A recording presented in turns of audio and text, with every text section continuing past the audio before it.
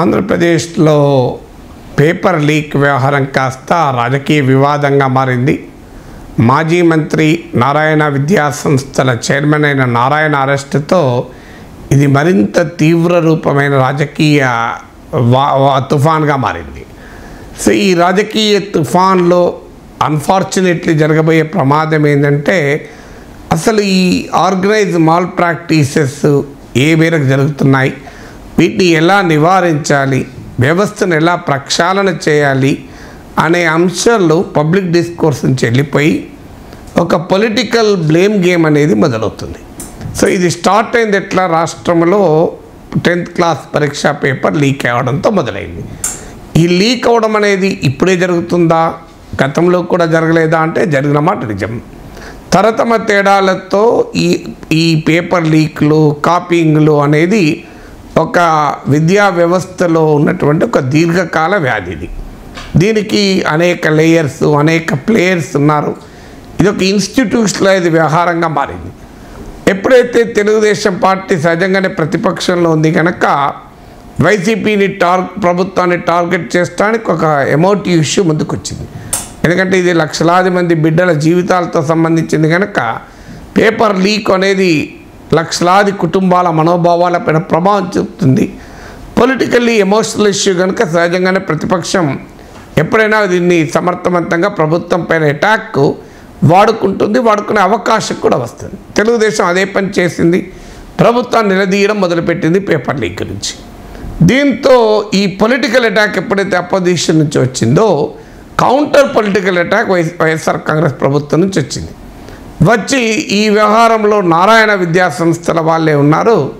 అసలు నారాయణే ఉన్నాడు అని చెప్పి ఆయన్ని అరెస్ట్ చేశారు. సో అరెస్ట్ చేయడం ద్వారా నారాయణ తెలుగుదేశం పార్టీ ప్రభుత్వంలో మాజీ మంత్రి కావడం ఇప్పుడు దీన్ని ఒక పొలిటికల్ రిటాలియేషన్గా వైఎస్ఆర్ కాంగ్రెస్ ప్రభుత్వానికి ఇది ఉపయోగపడింది. అయితే ప్రభుత్వం సహజంగా ఏం చెప్తుంది? మాకే సంబంధం లేదు చట్టం తన పని తాను చేసుకెళ్తోంది. ఇందులో రాజకీయం ఏమీ లేదు అని అంటారు. కానీ రియాలిటీ అందరికీ తెలుసు. మాజీ మంత్రి నారాయణ అవునన్నా కాదన్న తెలుగుదేశం నాయకుడు. వాస్తవంగా రెండు వేల పద్నాలుగు పంతొమ్మిది మధ్యకాలంలో నారాయణ ఆంధ్రప్రదేశ్ రాష్ట్ర ప్రభుత్వంలో అమరావతిలో చాలా కీలక మంత్రిగా ఉండే. కానీ రెండు వేల పంతొమ్మిది తర్వాత ఆయన రాజకీయాలు ఎక్కడ మనకు కనిపించలే. ఒక దశలో ఆయన పార్టీ మారుతాడని కూడా వార్తలు వచ్చాయి. బహుశా ఆయన ఈ ప్రమాదాలు ఉంటాయి వ్యాపారవేత్తగా ఉండి వ్యాపారంలో ఉండి ప్రభు అధికార పార్టీతో పెట్టుకున్న ప్రభుత్వంతో పెట్టుకున్న ఇబ్బందులు ఉంటాయని గమనించి ఆయన మొత్తం రాజకీయాలకే కనుమరుగయ్యాడు. సో ఆ ఈ అయినా కూడా ఆయన ఎప్పుడైతే తెలుగుదేశం ఈ మాల్ ప్రాక్టీస్ను పొలిటికల్ అటాక్ మొదలుపెట్టిందో వైఎస్ఆర్ కాంగ్రెస్కు నారాయణ అరెస్ట్ అనేది ఒక ఆయుధంగా మారింది. సో ఇప్పుడు ఇది వైసీపీ టీడీపీని టీడీపీని వైసీపీ మాట్లాడుకోవటానికి అవకాశం వచ్చింది. అయితే ఇప్పుడు నిజంగానే మరి నారాయణ కారణమా? కాదా? నారాయణ విద్యా సంస్థల్లోనే లీక్ అయిందా? ఎందుకంటే మంత్రి బొత్స చెప్తున్నట్టు ప్రభుత్వ ఉపాధ్యాయులు కూడా ఈ లీకేజీలో ప్యాకేజీలో భాగమని చెప్తున్నారు. సో నారాయణ విద్యా సంస్థలకు సంబంధించిన సిబ్బంది ఉంటే మరి నారాయణ చైర్మనే ఉన్నాడా? ఇదంతా ఒక విచారణలో తేలాల్సింది. నాకు నమ్మకం నాకు తెలిసినంత వరకు ఏమీ కాదు. ఎందుకంటే ఇలాంటి విచారణలు చాలా చూసాం ఇది చివరకు పొలిటికల్ స్టామ్గా మారిపోయి వీకెండ్ అవుతుంది. ఇప్పుడు తుఫాను వీక్ బలహీనపడి తీరం దాడుతుంటారు చూడండి. ఇది కూడా రాజకీయ తుఫాన్ అయి తర్వాత బలహీనపడి తీరం దాడుతుంది మళ్ళీ ఎప్పట్లాగే వ్యవహారం ఉంటుంది. ఎందుకంటే ఎప్పుడైతే పాలిటిక్స్ వస్తాయో రియల్ ఇష్యూస్ పక్కకు పోతాయి. ఇప్పుడు ఈ వ్యవహారంలో కూడా పాలిటిక్స్ వచ్చాయి. సో రియల్ ఇష్యూస్ పక్కకు పోతాయి. రియల్ ఇష్యూస్ ఏంటి? అసలు ఈ organised mass copying organised malpractices ఇండస్ట్రీగా మారింది.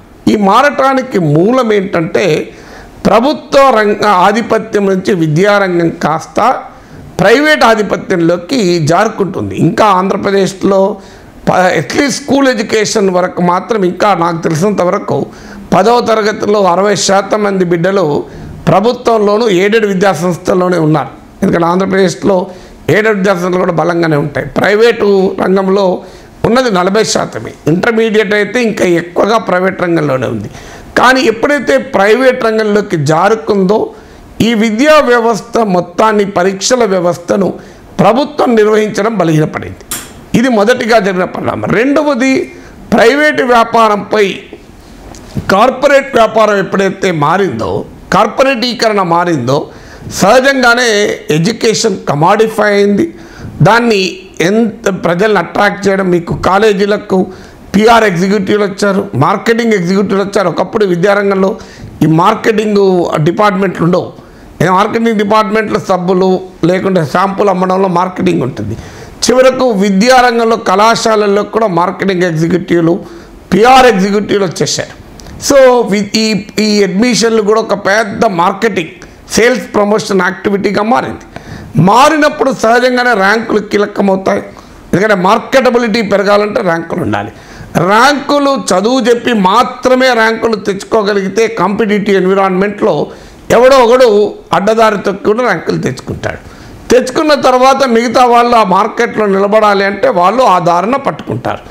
ఇష్టంగానైనా అయిష్టంగానైనా ఆ రంగంలోకి దిగుతారు. లేకపోతే నువ్వు సర్వైవల్ ఆఫ్ ద ఫిట్టెస్ట్ లాగా ఆ ఆ- కంపెనీ ఆ సంస్థ ప్రైవేట్ సంస్థ పోటీలో నిలబడదు. అందువల్ల ఈ కార్పొరేటీకరణ కాంపిటేటివ్ కామర్స్గా ఎప్పుడైతే మారిందో ఒక పోటీ వాతావరణం వాణిజ్యంగా మారిందో ఈ అడ్డదారులు తొక్కడము అవకతవకలు జరగడం మొదలైంది. ఇది పేపర్ లీక్ అనే ఒక్క వ్యవస్థే కాదు. ఇది ఇన్విజిలేటర్లు సెంటర్లు ప్రాక్టికల్స్ అన్నిట్లో ఉంటుంది మనకు. ఆఖరికి ఇప్పుడు ఇంటర్మీడియట్ అయితే ప్రాక్టికల్స్లో ఉంటుంది. డిఈఓ కార్యాలయాలు అందరు డిఈఓలు నేను అంటలేను కానీ డిఈఓ కార్యాలయాల్లో సెంటర్ సెలెక్షన్ నుంచి మొదలవుతుంది. తర్వాత చీఫ్ సూపరింటెండెంట్లు డిపార్ట్మెంటల్ ఆఫీసర్ల ఎలక్కేషను ఇన్విజిలేటర్ల నియామకాలు నుంచి మొదలుకొని ఈ వ్యవస్థ మొత్తం ఆర్గనైజ్ చేయబడుతుంది. ఇందులో పెద్ద అవినీతి ఇన్స్టిట్యూషనలైజ్ కరప్షన్ కూడా ఇందులో ఉంటుంది. సంస్థాగతమైన అవినీతి. ఇదంతా భాగం. అంటే ఒక కా పేపర్ లీక్ను ఒక ఐసోలేటెడ్గా చూడలేం మనం. వ్యాపారం ఎప్పుడైతే విద్య అనేది వస్తువుగా కమాడిటీగా మారిందో ఎప్పుడైతే అది వ్యాపార వస్తువుగా మారిందో విద్యా వ్యవస్థ ఒక పెద్ద మార్కెట్గా మారిందో ఆ మార్కెట్లో ఆ సేల్స్ ప్రమోషన్ కొరకు రకరకాల పద్ధతులు అనుసరించడం అనేది మొదలవుతుంది. అంటే మార్కెట్లో ఉండే అన్ని రకాల వక్ర మార్గాలు విద్యారంగంలో ప్రవేశించాయి. అందువల్ల ఈ institutionalise corruption institutionalise malpractices వీటిని సరిచేయకుండా అల్టిమేట్గా మళ్ళీ నెక్స్ట్ ఇయర్ మళ్ళీ యథావిధిగా జరగాల్సిన మాల్ ప్రాక్టీసెస్ అన్నీ జరుగుతాయి. అందువల్ల చట్టం తన పని తాను చేసుకోవాల్సిందే. ఎవరు నేరం చేస్తే వారిని ఖచ్చితంగా శిక్షించాల్సిందే. కా నేరం చేయ చేయకపోతే ఒక రాజకీయ భావాలు ఉన్నందుకు లేదా ఒక ఒక విద్యా సంస్థ నడుపుతున్నందుకు శిక్ష పడితే అది ఖచ్చితంగా మనం వ్యతిరేకించాల్సిందే. కానీ మోర్ దెన్ దిస్ పాలిటిక్స్ ఇందులో ఈ రాజకీయాల కన్నా నాలాంటి వాళ్ళకి ఇంట్రెస్ట్ ఏంటంటే వ్యవస్థ ప్రక్షాళన. వ్యవస్థ ప్రక్షాళన జరగకపోతే ప్లేయర్స్ మారవచ్చేమో కానీ గేమ్ మారదు. మార్చాల్సింది గేమ్ను. ఈ గేమ్ను మనం సరిచేయాలి. సో గేమ్ను సరి చేయకుండా ప్లేయర్స్ని టార్గెట్ చేస్తే ప్రయోజనం ఉంటుందని నేను అనుకోను.